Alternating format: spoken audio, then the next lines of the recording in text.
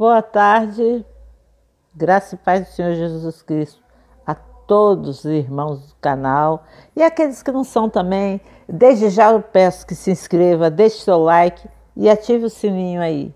Amém? Eu sou Carmélia Nunes, você está no canal Orações Sem Cessar. Tá? Aqui a gente ora, a gente lê a palavra agora e as pessoas que deixam aí os pedidos de orações, todo dia a gente faz essas orações nas madrugadas. Amém? E Deus tem ouvido grandiosamente. Ele tem nos abençoado e tem eu tenho exaltado o nome dele por tudo quanto é canto, dentro da minha casa, por onde eu ando, porque ele é fiel e ele anda conosco. O Espírito Santo do Senhor já está se manifestando nesse momento para nos ouvir. Não devemos se afastar do Senhor. Então eu te peço agora, escuta uma palavrinha, um trechinho só. Amém? Eu vou hoje ler aqui, 2 Reis 6 sabe? É, onde Davi traz a arca para Jerusalém. E tornou Davi a juntar todos os seus escolhidos de Israel, em número de 30 mil homens. E levantou-se Davi e partiu com todo o povo de que tinha conseguido de Baala de Judá para levarem dali para cima a arca de Deus. Amém? Sobre a qual se invoca o nome, o nome do Senhor dos Exércitos. Aleluia, glória a Deus. Que se assenta entre os querubins. Amém, irmãos? Repuseram a arca de Deus em um carro novo de boi e levaram da casa de Abinadab, que está em Gibeia, e Uzá e Aio, filhos de Abinadab, guiavam o carro novo de boi e levando o a casa de Abinadab, que está em em Gibéia com a arca de Deus. Aio ia diante da arca, e Davi e toda a casa de Israel alegravam-se perante o Senhor com toda sorte de instrumentos de pau, faia, como harpas e com saltérios e com tam, tamboris, com tambores, e com pandeiros, e com símbolos. E chegando a Nacon, Uzá estendeu a mão à arca de Deus. E teve nela porque os bois a deixavam pender.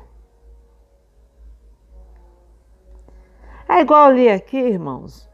A arca de Deus tem o nome do Senhor dos Exércitos, entre ela com os querubins. Só que essa passagem aqui, eu vou fazer já uma explicação.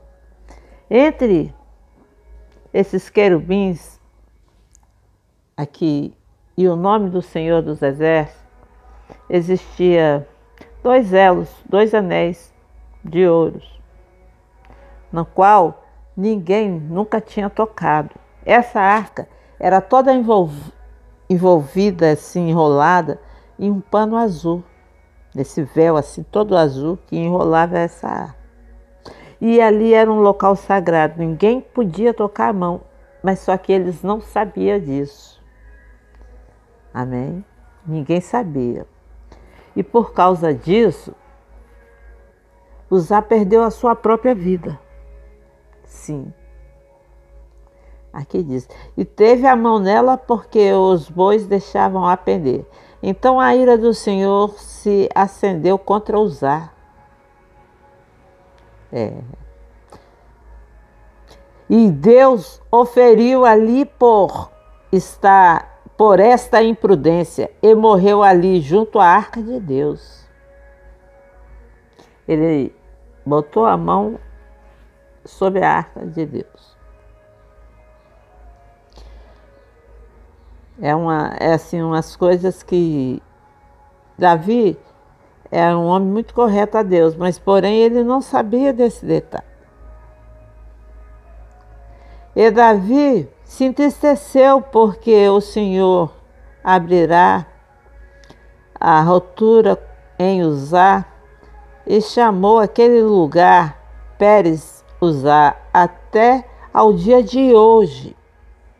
E Davi temeu ao Senhor naquele dia e disse: Como virá a minha arca do Senhor?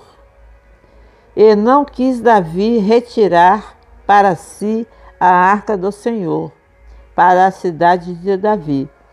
Mas Davi fez levar a casa de Obed-Edom, o Gitita, e ficou a arca do Senhor em casa de Obed-Edom, o Gitita, três meses e abençoou o Senhor a Edom e toda a sua casa.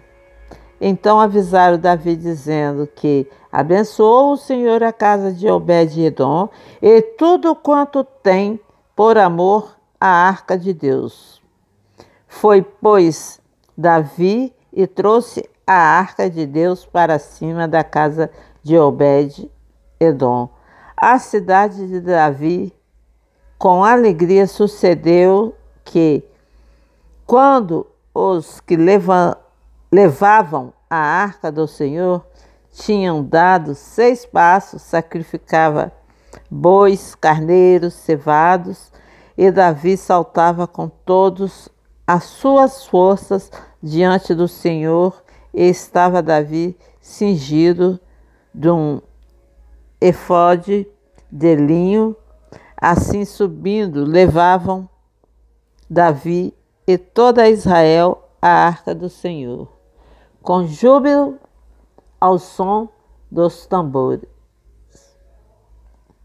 Amém? Então vocês entenderam? Tudo tem um mistério. A arca de Deus. Davi pretendia levar a arca para a cidade dele. Ele arrumou esses homens, esses carros de boi, que naquela época os carros eram de boi, né? Que puxava, que guiava. Botaram a arca em cima, a arca era uma arca pesada. Mas ninguém sabia nela que ali entre os anjos os querubins tinha essa parte que ninguém poderia tocar, a não ser o Senhor, certo? E usar, ele botou a mão sobre ela. Então aí veio a ira do Senhor, porque ali seria um lugar que ninguém jamais poderia tocar a não ser ele. E ele abençoou a casa de Obed-Edom, tá? E abençoou a todos que estavam ali com Davi, perdoou Davi e abençoou a Davi e a casa dele também. Amém? Então, por hoje, amigos, irmãos, todos do canal, que já se inscreveram, que deixaram seu like, é, comente, deixe um comentário aí no canal, certo? Amém?